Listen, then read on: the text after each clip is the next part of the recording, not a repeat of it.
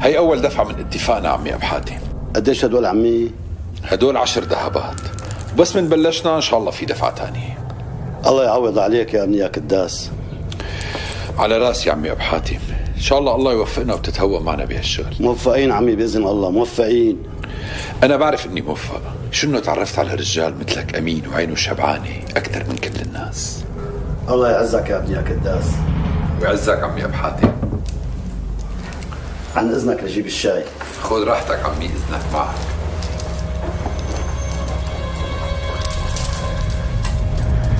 تفضل يا أبي. تأمر بشي تاني؟ ما في شي ياكله مع الشاي لك بنتي يا أبي والله ما في. ولا قرص معمول واحد نضيفه لهالزلمه ولا حتى نص قرص. إيه روحي روحي روحي. حاضر. يخرب بيتكم شو حواليش. لك مثل الجراد تاكلوا الأخضر واليابس.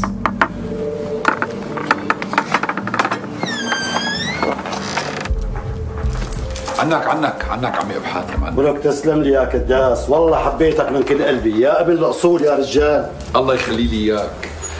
أشهد بالله إنك أنت دخلت قلبي من أول ما شفتك. تسلم تسلم.